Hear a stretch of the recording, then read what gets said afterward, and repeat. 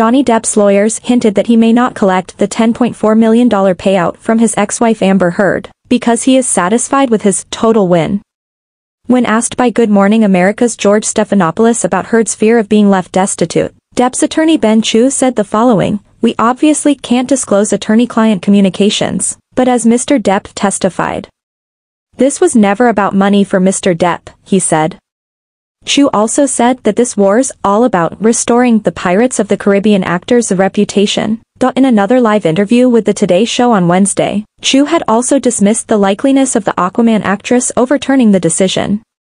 We feel very confident that there are no errors that would justify any kind of successful appeal, he said. Camille Vasquez, Depp's fellow lawyer who gained notoriety in her own right and was promoted to a partner in her law firm, said it was disappointing that Heard's team called the victory a blow to the hashtag MeToo and women's rights movement.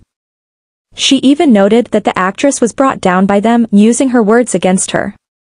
Every question that was asked was tied to something she had said previously, she said. Vasquez added, we encourage any victims to come forward. Domestic violence doesn't have a gender. Chew also told Today that it was absolutely absurd and baseless to suggest that the support of Depp received online an orchestrated campaign.